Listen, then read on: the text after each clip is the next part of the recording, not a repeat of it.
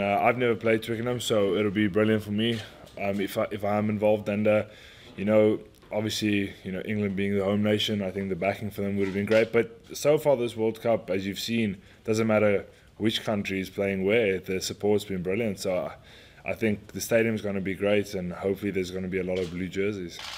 You know, they're good. They're good players. Um, there's obviously no way around that. Uh, like like I said earlier, I, am lucky enough to have played them in the past in different competition, obviously. But uh, you know, you you just have to be physical. You you got to be there quicker. You got to be you got to be better. And uh, you know, it's, it's knockout rugby. So if we're on, if we're better on the day, we'll win the game, and and that'll mean just you know fronting up and you know being in their face all day.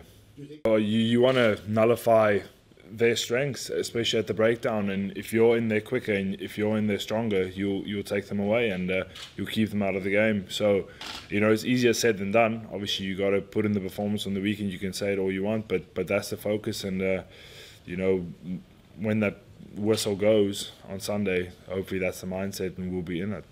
Yeah, they're a great team. Uh, you know, they um, being a keen supporter of uh, you know the Super Rugby as well. Watching it this year, just watching how well the individual teams that I knew they were going to be good this year, and uh, and it's really worked out. They've gelled really well. They've got great experience. I mean, I don't have to mention the guys' names; everyone knows them. But they got brilliant players, great experience, and, and a good mix of young and old, and um, some very very exciting young players as well. So.